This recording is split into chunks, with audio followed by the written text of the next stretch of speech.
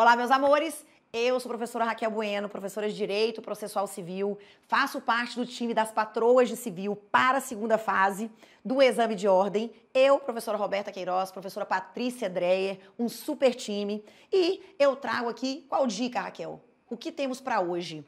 Gente, a grande pergunta da vez. Raquel, como responder, como né, fazer na hora da prova as questões discursivas?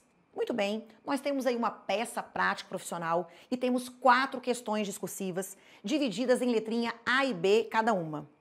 Primeira coisa, há uma pergunta muito típica. O que, que eu faço primeiro, Raquel? As questões discursivas ou a peça? Normalmente eu indico, isso aqui é bem pessoal, tá?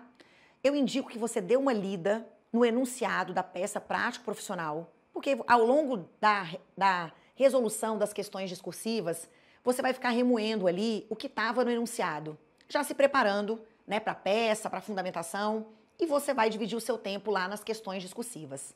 Resolva as questões discursivas, e aí sim você vai para a peça, não tem como fazer rascunho, é segura na mão de Deus e vai. Em relação às questões discursivas, você tem que se atentar para o comando. Como responder? Seja objetivo. Responda. Se no enunciado da questão você tem letra A e letra B, Perceba se ele fez uma pergunta na letra A e uma pergunta na letra B. Porque se ele fez mais de uma pergunta, você tem que responder todas. Então, quando ele pergunta de que tipo é a responsabilidade civil do fulano, a responsabilidade civil do fulano é objetiva, por isso, por isso, por isso. Procure não reproduzir única e exclusivamente os dispositivos legais, porque muitas vezes o enunciado vai dizer que não será computada a pontuação se você apenas descrever única né, pura e simplesmente o, a redação de um artigo. O recomendado é você parafrasear. Então você começa a resposta. Se ele perguntou de que tipo é a responsabilidade civil do fulano, a responsabilidade civil do fulano ela é objetiva. Ele vai responder independentemente de culpa ou dolo nos termos do artigo tal.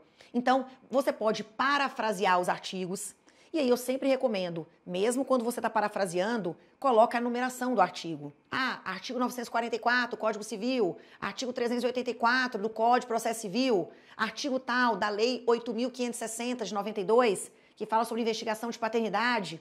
Então a ideia é ter respostas objetivas e sempre atendendo a todo o enunciado da questão. Raquel, e se eu não encontrar o fundamento legal? Eu sei exatamente que a responsabilidade é objetiva.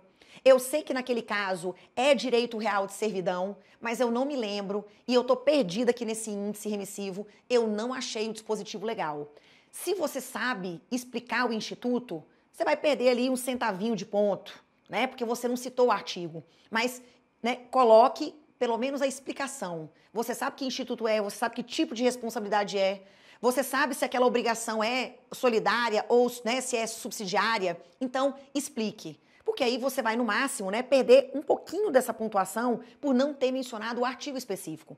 Então não se desespere do tipo, ah, eu não vou responder nada porque eu não sei o artigo. Mas se você sabe explicar o conteúdo, explique. O artigo, ele vai te conferir uma pontuação, mas não é uma pontuação elevada. Essa pontuação, normalmente, ela é o quê? Fragmentada.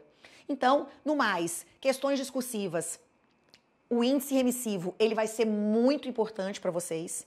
Na hora de você identificar o instituto, eu não sei qual é a legislação que eu vou fundamentar, se é no Código de Processo Civil. Percebam que o nosso examinador, ele pode, em uma determinada questão, cobrar apenas temas processuais ou apenas temas materiais. Uma questão inteira só sobre Código de Defesa do Consumidor, uma questão inteira só sobre Código Civil ou uma questão inteira só sobre temas processuais. Não é muito comum.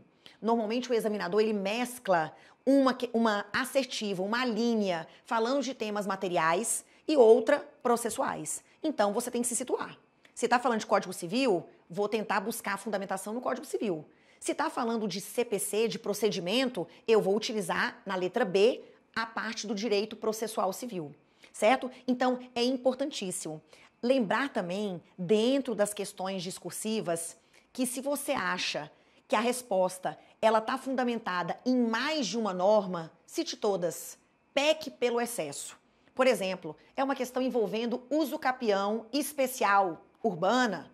Se for uma questão envolvendo uso capião, eu sei que o uso capião está no Código Civil, mas eu sei que a modalidade urbana e rural também tem base na Constituição. E também sei que a uso capião urbana tem base no Estatuto da Cidade, Lei 10.257 de 2001. Então, utilize todas as bases normativas. Né? Ah, Raquel, essa questão aqui eu sei que tem como fundamentar com base no Código Civil que é a responsabilidade do empregador pelo empregado, mas também com base na relação consumerista. Artigo 14, por exemplo, do CDC. Use os dois. Normalmente o examinador, ele pode considerar uma norma ou outra para fins de pontuação, ou ele pode dividir a pontuação e quem colocou todas as bases normativas tem a pontuação cheia. Quem colocou só um pouco vai ter uma redução dessa pontuação. Essas são minhas dicas aí na hora que você estiver respondendo as suas questões discursivas. Se ele diz sim ou não, primeira coisa é responder sim ou não e depois apresentar a fundamentação. Então, respostas o quê? Bem específicas para cada enunciado, ok?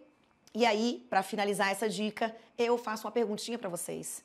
Você já está inscrito no canal Grão AB? Não? Então se inscreve, tá? Curte esse vídeo, dê seu like, ative o sininho, as notificações, compartilhe com seus amigos, tá? E vem ser da equipe aí Grão AB. Conheça também os nossos cursos na plataforma. Vem ser Grão AB.